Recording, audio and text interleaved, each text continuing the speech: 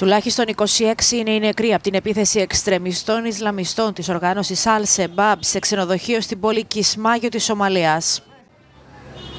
Στα θύματα περιλαμβάνονται Σομαλοί πολιτικοί και αξιωματούχοι, υπάλληλοι του ξενοδοχείου καθώς και τουρίστες. Ανάμεσά τους πολίτες από την Κένια, τον Καναδά, τη Βρετανία, τις Ηνωμένες Πολιτείες και την Τανζανία. Περισσότεροι από 50 είναι οι τραυματίες. Το λιμάνι του Κισμάγιο είναι η εμπορική πρωτεύουσα της ημιαυτόνομης περιοχής Τζουμπαλάντ στη νότια Σομαλία, η οποία παραμένει υπό το μερικό έλεγχο της Al-Sebab. Η επίθεση εκδηλώθηκε το βράδυ της Παρασκευής με την έκρηξη παγιδευμένου αυτοκινήτου έξω από το ξενοδοχείο, όπου συνεδρίαζαν τοπικοί αξιωματούχοι και βουλευτές. Κατόπιν, τρεις ένοπλοι εισέβαλαν στο κτίριο. Οι δυνάμεις ασφαλείας κατάφεραν να εξουδετερώσουν τους εξτρεμιστές τουλάχιστον 12 ώρες αργότερα.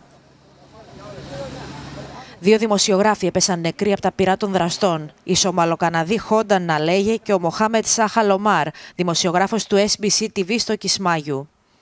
Σομαλικής και καναδικής υπηκότητας, η Ναλέγε είχε έντονη διαδικτυακή δράση υπέρ της ειρήνης και της ενότητας στη Σομαλία.